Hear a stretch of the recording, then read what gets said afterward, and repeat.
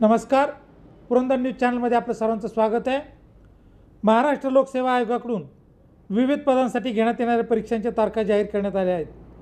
मागील वर्षामध्ये मराठा आरक्षण आणि लॉकडाऊनमुळे ज्या परीक्षा होऊ शकल्या नाहीत त्या नवीन वर्षात घ्यायचं महाराष्ट्र लोकसेवा लोकसेवा आयोगानं ठरवलं आहे.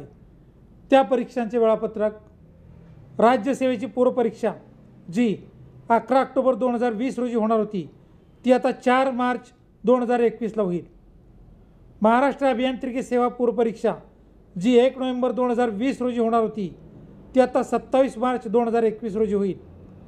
महाराष्ट्र दुय्यम सेवा अराजपत्रित गट बसाठीची एकत्रित पूर्वपरीक्षा जी बावीस नोव्हेंबर दोन हजार वीस रोजी होणार होती ती आता अकरा एप्रिल दोन हजार एकवीस रोजी होणार आहे. धन्यवाद.